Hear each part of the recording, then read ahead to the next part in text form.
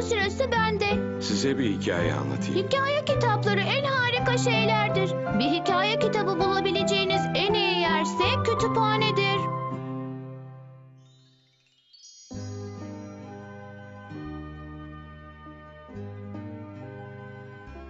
Charlie kitapları çok severmiş. Aa, ne harika. Hiç bu kadar çok kitap görmemiştim. Önce hangisini okuyacağımı bilemiyorum. Şşş! Burası kütüphane. Charlie hikayeleri sesli okumayı severmiş. Hem de çok sesli.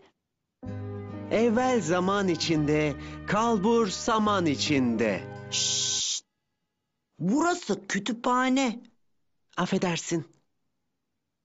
Evvel zaman içinde, kalbur saman içinde. Develer tellal iken, pireler berber iken, uzak diyarlarda yaşayan bir marangoz varmış. Aa, çok özür dilerim. Sorunu anladım. Kütüphaneye gittiğin zaman sessiz olman gerek. Çok doğru Faraway. Ama Charlie sürekli unutuyormuş. Hikaye okurken çok heyecanlanmış ve sesi gittikçe yükselmiş. Bu marangoz gürültülü bir şekilde çalışırken küçük bir çocuk çıka gelmiş. Merhaba Bay Marangoz. Şşş! Sen bu kadar ses yaparken kendi hikayelerimizi okuyamıyoruz. Ah, çok özür dilerim. Eğer sessizce okuyamıyorsan başka yere gitmen gerekecek. Ah. Ah. Hayır, sakın bana zavallı Charlie'nin kütüphaneye gitmeyi bıraktığını söyleme. Evet Faraway. Tüm o harika kitapları geride bırakması gerekmiş. Charlie üzgün halde sokakta yürümüş ve parka ulaşmış. Charlie dostu söğüt ağacını ziyarete gitmiş. Ne yapacağım şimdi Süt? Kütüphaneye gidemezsem okuyacak hikaye bulamam. Ama kütüphanelerin ödünç kitap alıp yanımda götürmene izin verdiğini sanıyordum. Şey, evet veriyorlar.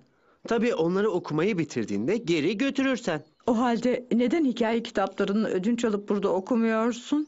Burada mı? Parkta mı? Evet, biz ağaçlar hikaye dinlemeyi severiz ve bu şansı pek bulamayız. Bu muhteşem bir fikir Süt. Böylece Charlie kütüphaneye dönmüş ve alabildiği kadar kitap almış. Aceleyle parka dönmüş. Pekala Süt. Önce nasıl bir hikaye dinlemek istersin? Mutlu sonlu hikayeler, korkunç hikayeler, komik hikayeler, üzücü hikayeler var. Oo, üzücü bir hikaye olmasın Charlie. Beni ağlatıyorlar. Marangozlar, prensesler, prensler, uzaylılar, krallar, kraliçeler, korsanlar, polisler, deniz kızları ve maymunlar hakkında hikayelerim var. Neden en üstteki kitapla başlayıp sırayla hepsini okumuyorsun peki? Tamam olur. O zaman okumaya başlayayım.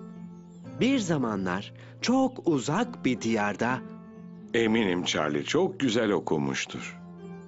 Evet, hatta hikayelerini sadece ağaçlar değil, uzak yerlerden gelen insanlar da dinlemeye başlamış. ve hepsi sonsuza dek mutlu yaşamışlar. Son. Ah, Teşekkür ederiz Charlie. aferin sana.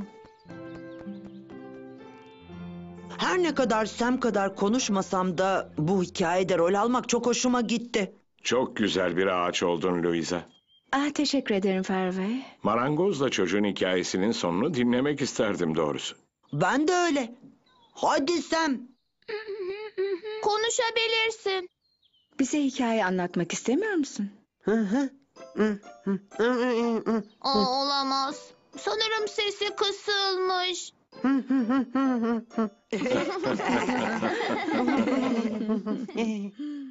Story today